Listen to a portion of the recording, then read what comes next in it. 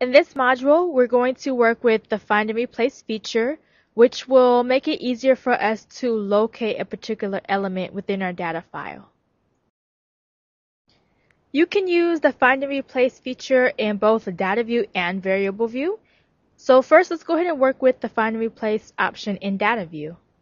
Select the Edit menu and click Find.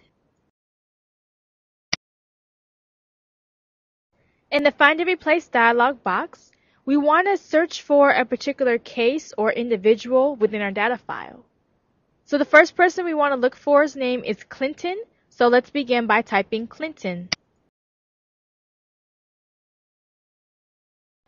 Let's say that Miss Clinton got married and therefore she needs to switch out her name from Clinton to Cliff.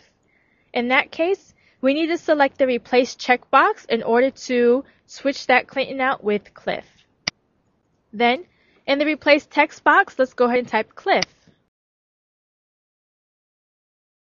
You have a range of options in which you can dictate exactly what you want to look for in specific elements within that component of your data file.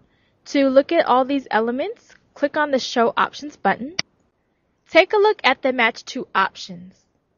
Here you can specify exactly how much of the information contained within the cell you would like to search for and then replace.